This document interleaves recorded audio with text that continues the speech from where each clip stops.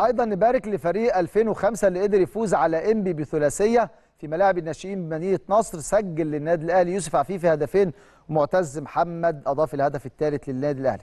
زي ما إحنا شايفين معانا أهداف اللقاء ده الهدف الأول للاعب يوسف عفيفي واحد برضو من اللاعبين المميزين يعني كرة ثابتة وقدر يحرز الهدف الأول للنادي الأهلي. وما شاء الله عندنا فريق 2005 أيضا متصدر بطولة دوري الجمهورية بفارق كبير جدا عن الفريق الثاني ده الهدف الثاني للاعب معتز محمد واحد من المدافعين الاقوياء في فريق 2005 وفريق 2005 ده بيضم مواهب كبيرة. عندنا يوسف عفيفي معتز محمد مستنجي سيف أيمن عندنا محمد رأفت.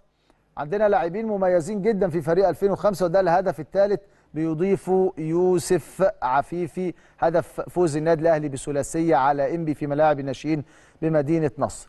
أيضا نروح نشوف لقاءات ما بعد فوز الأهلي بثلاثية على إنبي.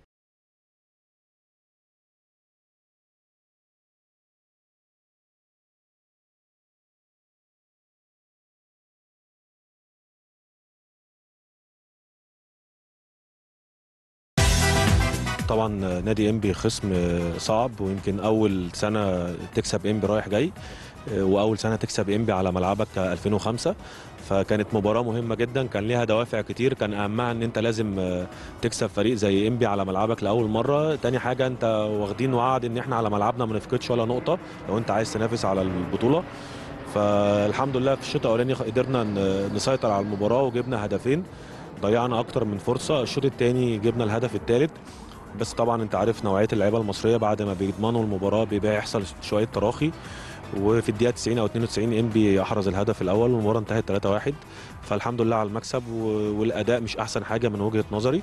بدأنا كويس جدا ولكن شخصيه اللعيب المصري اللي إحنا بنحاول نغيرها دايما المنتاليتي إن هو اللعيب لما بيضمن المباراة بيحصل تراخي. فالحمد لله يعني. الحمد لله إحنا كان عندنا إصابات طويلة في أول الموسم كان محمود الوحش كان صليبي والحمد لله يعني بدأ ينزل الملعب في أول ال season بس يعني لسه بيشارك على فترات. عفيفي كان إصابة كسر في عظمة الكعبرة مشيناه علاج تحفظي conservative treatment خد شهر وأسبوع حوالي سبع سبع سبع أسابيع. الحمد لله بيشارك بقاله شهر بس النهارده يعني رجع للتهديف محمود لبيب كان عنده إصابة كدمه في وتر أكيليس بس الحمد لله برده يعني خد علاج لمدة أسبوع وبقى بيشارك. ده تاني ماتش على التوالي بعد الإصابة.